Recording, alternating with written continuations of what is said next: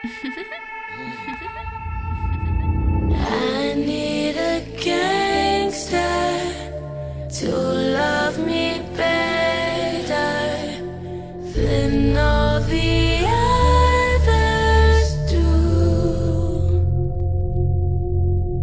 To always forgive me, ride or die with me. That's just what